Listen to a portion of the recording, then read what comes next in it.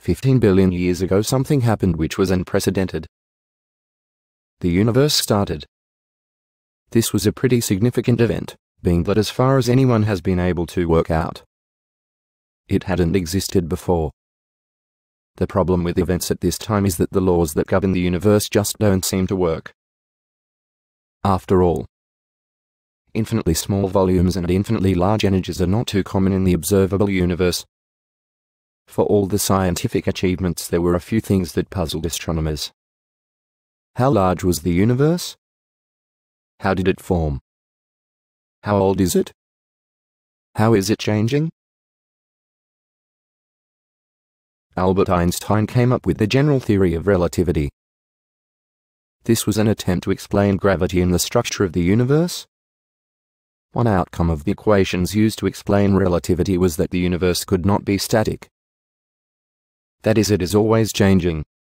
Einstein was a firm believer that the universe had always existed and overall did not change much.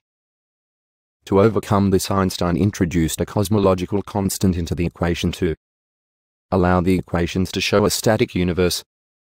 In time Einstein regretted this small fudge to his equations. Not long after Einstein a Russian scientist Alexander Friedmann used the relativity formulas to show that the universe must be either expanding or contracting. His idea was that the universe was created from a small region of space that expanded was not taken seriously. In 1929 Edwin Hubble was making observations of the light coming from galaxies.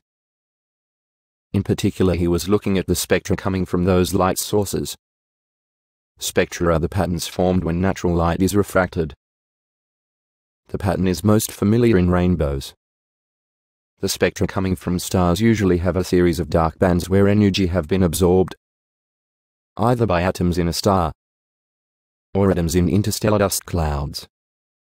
He noticed that light spectra coming from stars was shifted into the red end of the spectrum. This shift also related to the object's distance away from Earth.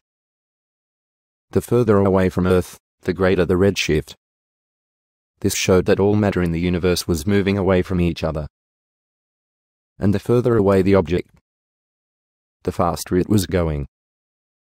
The answer wasn't that our solar system was in the middle of the universe, rather that everything was moving away from everything else. As the universe expands, the amount of space between everything also expands.